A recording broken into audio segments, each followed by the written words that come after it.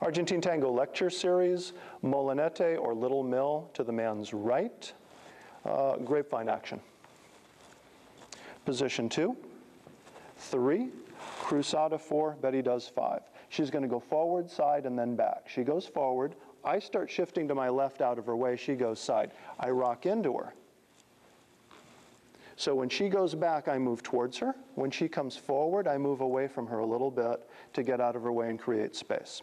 If I don't move, at some points we'll bump or get too far away. So notice how I move towards her for her back cross and away from her from the forward cross. We'll do another angle.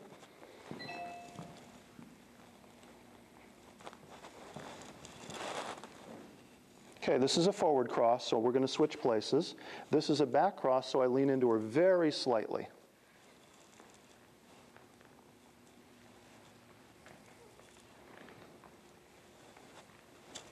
And resolution.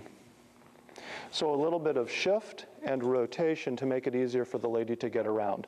So we're circling each other and respecting the partner distance.